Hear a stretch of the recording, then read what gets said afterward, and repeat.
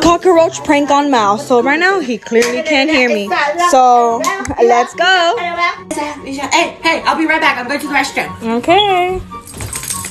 Okay, I have to hurry, so I'm gonna just put them around here. And you better not say nothing, Daisy. Hey, for a.